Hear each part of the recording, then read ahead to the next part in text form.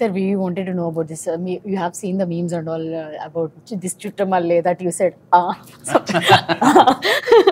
we wanted to know your reaction. Have you seen all the memes on yes, that? yes, I have. So actually, some like what we realize, you know, over this journey, it's been one decade or more. Sometimes you never know why something works or what is the No, we are enjoying that actually. yeah no see that is not planned no actually like uh, we never know why something what in a song works or what is the magic that it creates i knew it only when i was performing it. i didn't know Uh, so when we are doing a five city tour in the first city when we are You only write, sir. That's saying, yeah. Yeah, ah, yeah. ah. Yeah, yeah, yeah. so there's no We are no, right that when was, he's playing itself Okay.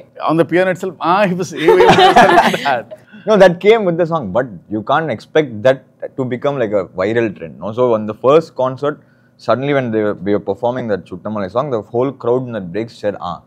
I'm like ah okay. Or maybe maybe they're just singing it. Then it became a competition. Like whichever next city we went to which it gets louder? Yeah. like who which, Everybody which becomes city- Anirudh at the moment. which city does that ah get louder? So that's what i'm saying. You you can never plan such things. You never know why something works. So in this we lucked out with just that ah sound Okay. okay.